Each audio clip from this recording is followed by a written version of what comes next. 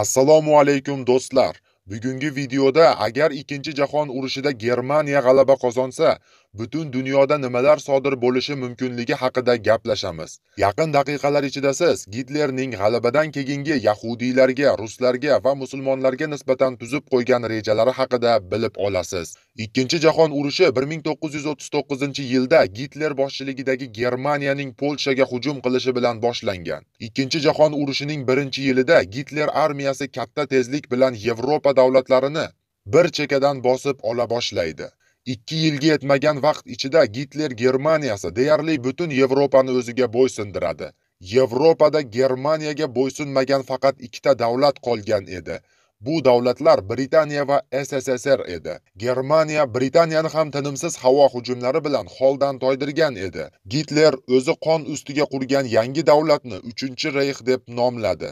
3-reyxda aholisi soni yetarli, iqtisodiyoti kuchli va texnologiyalar yetarlicha rivojlangan edi. Harbiy kuch-qudrat tarafidan esa Reyx armiyasiga teng kela oladigan boshqa armiya yo'q edi. Ya'ni Gitler boshchiligidagi 3-reyx har tomonlama kuchli edi. Faqat 3-reyxga tabiiy resurslar yetmasdi. Ya'ni 3-reyxga urushlarda eng muhim vosita bo'lib hisoblanuvchi neft va temir kabi tabiiy qazilma boyliklari yetishmasdi. SSSR hududlarida esa temir, neft va gaz kabi tabiiy boyliklar yetarli edi. Aynan shuning uchun 3-reyx 1941-yilda SSSRning tabiiy boyliklariga ega bo'lish uchun hujumga o'tadi. Lekin SSSRni bosib ololmaydi va ortga chekinishga majbur bo'ladi. 3-reyxning zaiflashganidan foydalanib Britaniya va AQSh ham g'arbdan qo'shin kirgazib Gitlerga qarshi ikkinchi frontni hosil qiladi. Buning natijasida 3-reyx ikki tomonli hujumni to'xtatolmay to'liq mag'lubiyatga uchraydi.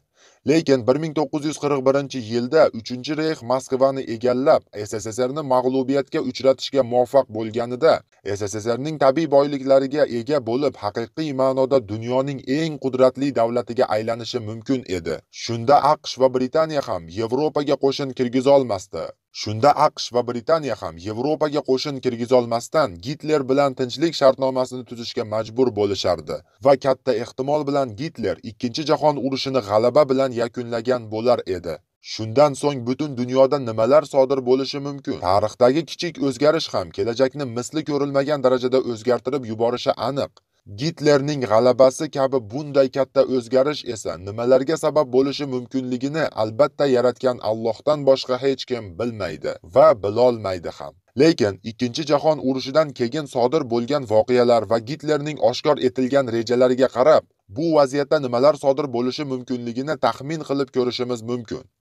Yahudiylar va LGBTning to'liq qirib tashlanishi Hech kimga sir emaski, Gitler va uning hukumati Germaniya tepasiga kelganidan boshlab yahudiylarga qarshi katta miqyosli qirg'inni boshlagan. Ya'ni Gitler o'zi hukmronlik qilgan barcha vaqtlarda, o'zi qo'li yetgan barcha hududlarda yahudiylarni shafqatsizlar chaqirib tashlagan. Ikkinchi jahon urushi davomida 6 million yahudiy Gitler askarlari tomonidan qirib tashlangan. Bu o'sha vaqtdagi yahudiylarning 3 dan 1 qismi edi. Ya'ni Ikkinchi jahon urushi davomida Gitler butun dunyodagi yahudiylarning 3 dan 1 qismini to'liq qirib tashlagan. Agar 3-reyx Ikkinchi jahon urushida g'alabaga erishganda yahudiylarga qarshi uyushtirilgan katta miqyosli qirg'in davom etardi va bir necha 10 yillikda Gitler yahudiylarni to'liq qirib tashlashi mumkin edi. Bundan tashqari yahudiylarning davlati bo'lmish Isroil esa umuman qurilmas edi. Ya'ni Gitler o'z dushmanlari bo'lmish yahudiylarga davlat qurishiga umuman yo'l bermasdi. Gitler avvaliga Yevropadagi yahudiylarni, keyin esa Falastindagi yahudiylarni ham qirib tashlar edi. Yahudiylar bilan bir qatorda 3-rayx LGBT vakillarini ham shafqatsizlarcha qirib tashlar edi. Ikkinchi jahon urushi davrida ham Holokost rejasi asosida yahudiylar va lo'lilar bilan bir qatorda gomoseksual erkaklar ham qirib tashlangan edi.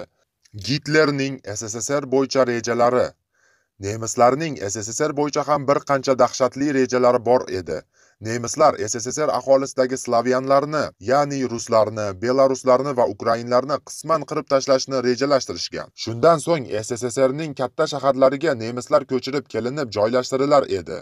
Ayrim ma'lumotlarga ko'ra Gitler SSSR aholisining katta qismini, shu qatorda O'rta Osiyoliklarni ham ochlik bilan qirib tashlashni rejalashtirgan. Ya'ni SSSR aholisidan barcha bug'doy va yegulik mahsulotlari tortib olinib, ochlikka qoldirilar va shu yo'l bilan qirib tashlanar edi. Chunki yuqorida ham aytib o'tganimizdek nemislarni faqat sssrning tabiiy resurslari qiziqtirgan. Sssr aholisidan ularga foyda yo'q edi. Aksincha tirik qolganlar nemislarga qarshi qo'zg'olonlar ko'tarishi mumkin edi. Shu sababli gitler katta ehtimol bilan g'alabadan so'ng sssr aholisining juda juda katta qismini qirib tashlar edi. Aqshga qarshi sovuq urush.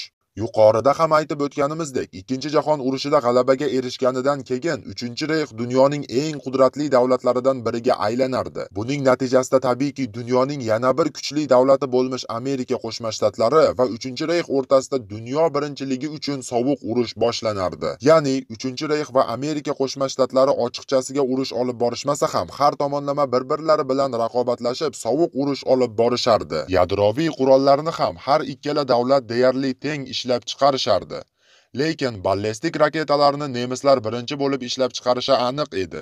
Sssr va aqsh o'rtasida davom etgan sovuq urushga sssrning iqtisodiyoti dosh berolmay tarqalib ketgan. Lekin uchinchi reyxning iqtisodiyoti sssrnikiga qaraganda ancha mustahkamroq bo'lardi va uchinchi reyx sssrdan ko'ra ko'proq aqsh bilan sovuq urush olib bora olardi. Ayrim ma'lumotlarga ko'ra gitlerning yaqin sharqqa shimoliy afrikaga va janubiy amerikaga qiziqishi yuqori edi. Ya'ni aqshga qarshi sovuq urush davomida uchinchi reyx turkiyaga suriyaga iroq falastin eron saudiya arabistoni misr iordaniya braziliya va argentina kabi davlatlarga o'zining yuqori siyosiy ta'sirini o'tkazishi aniq edi. Uchinchi reyxning ta'siri sababli aqsh iroqga va liviyaga qo'shin kirgizolmasdi va bu davlatlarda tinchlik hukm surishi mumkin edi. Gitlerning musulmonlarga nisbatan rejalari ikkinchi jahon urushi davrlaridan bizga ma'lumki gitlerning musulmonlarga nisbatan alohida nafrati bo'lmagan va musulmonlarni xuddi yahudiylar kabi qirib tashlashni rejalashtirmagan. Aksincha gitlerning musulmonlarga nisbatan bo'lgan ko'z qarashlari ancha yaxshi edi. Ba'zi vaqtlarda gitler musulmonlarni qo'llab-quvvatlab o'ziga ittifoqchi sifatida ham ko'rgan. Lekin gitlerni musulmonlarni yaxshi ko'rardi va hurmat qilardi deyish ham xato bo'ladi.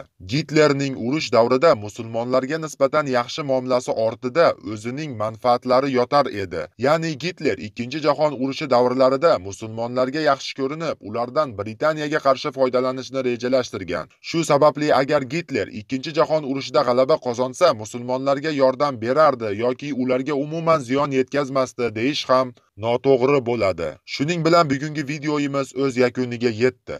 Bizning kichik mehnatimizni munosib baholagan holda videoga layk bosishni va kanalga obuna bo'lishni unutmang.